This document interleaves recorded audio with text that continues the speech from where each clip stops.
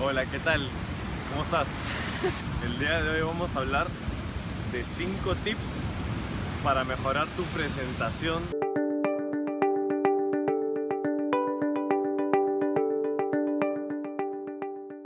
Estamos ahorita en Viña del Mar. Eh, pucha, tiene una vista increíble, conociendo una ciudad que realmente me ha encantado. Santiago también hemos estado unos días por acá. Y quería aprovechar este momento para compartirte unos tips que estoy seguro que te pueden servir muchísimo para mejorar tu presentación de negocios. Probablemente te hayas, sentido a veces un poco incómodo en una presentación o has sentido que se te ha ido mucho tiempo y no has sido eh, productivo, no has sido cerrador, no, no, no has podido concretar ni una firma en ese momento. Entonces quería darte 5 tips que te pueden ayudar muchísimo para mejorar esa presentación que estás haciendo diariamente en tu negocio. Tip número 1 y es que tú hagas que la persona llegue a la presentación ya con una expectativa positiva.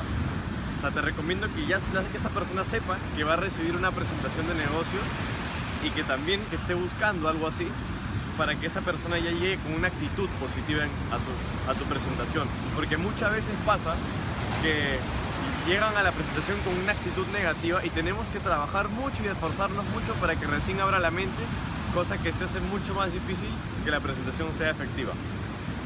La recomendación número dos que te quiero contar es que en esa presentación tú tienes que saber contar tu historia, tienes que saber compartir, porque tú puedes ser muy técnico en el plan de pago, en los productos, en los ingredientes, en cosas muy este, teóricas de tu compañía, pero si no te estás enfocando en contar tu historia, tú por qué estás en este negocio, tú por qué estás en esta industria o tú por qué estás compartiendo estos productos, la gente no se va a unir a ti tiene que realmente haber una razón eh, humana, una, una, historia que tú puedas contar y que realmente la gente le diga, ah, qué bacán, él está haciendo eso, Mijail está haciendo eso por esa razón, pues yo también lo voy a hacer.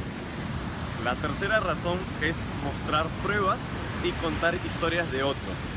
Si mira, si tú ahorita todavía no estás teniendo los resultados, que a veces las personas te preguntan, oye, ¿a ti cómo te está yendo? Si todavía no estás teniendo los resultados, no te alarmes, no te preocupes.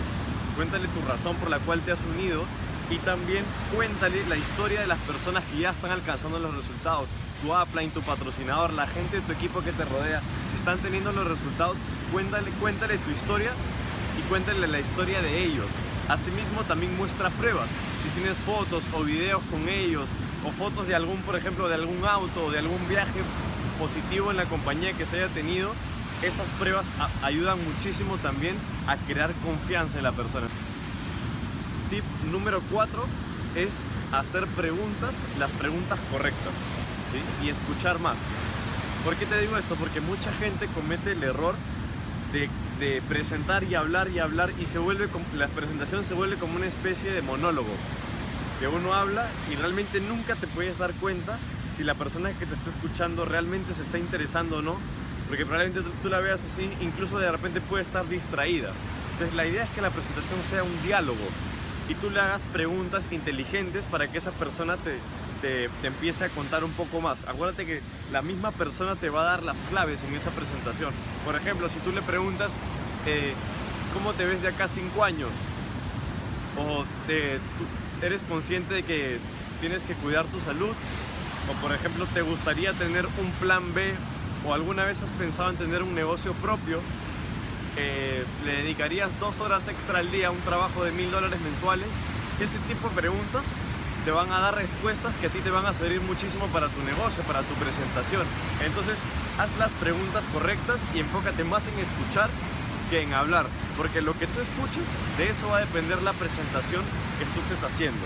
Y el tip número 5, que probablemente sea el más importante en los tips de presentación que te voy a dar el día de hoy, es que tú tienes que ir al cierre, tienes que saber cerrar. Tú puedes hacer haber hecho una presentación muy bonita, pero si no estás siendo concreto y estás yendo a cerrar la presentación, realmente de nada sirvió esa cita que tuviste. Entonces recuerda cerrar y cerrar es simplemente terminar la presentación, cerrar todo y decir, ¿sabes qué? Quiero que seas sincero y transparente. Quiero que seas sincera y transparente conmigo y me digas si realmente has visto una oportunidad o no la has visto. Y la persona te va a decir, sí, ¿sabes qué? Sí, Y, si te empieza a dar este, como especie de excusas, no tengo tiempo, o déjame pensarlo, quiero ver, ¿sí? pídele sinceridad realmente. Si la persona está interesada, dile, si estás interesada, hay que volvernos a juntar. Y si no estás interesada, lo dejamos ahí. Dale las dos opciones. Dale la opción de que puede entrar o de que no puede entrar. Y cuando entre puede ser que ingrese como consumidor o que ingrese como ejecutivo. Pero dale las opciones. ¿sí? Recuerda que te diga que no también es una opción y eso es un cierre muy positivo para ti, ya que te estás quitando un peso encima y estás haciendo un check también a tu presentación. Entonces recuerda, estos 5 tips si los aplicas muy bien, estoy 100% seguro que tu presentación va a mejorar grandemente, va a mejorar muchísimo y vas a empezar a ser mucho más efectivo en tus presentaciones para realmente cumplir la meta que tengas este mes en tu negocio. Así que te mando un fuerte abrazo desde Chile y nos vemos en el siguiente video. Chao, chao.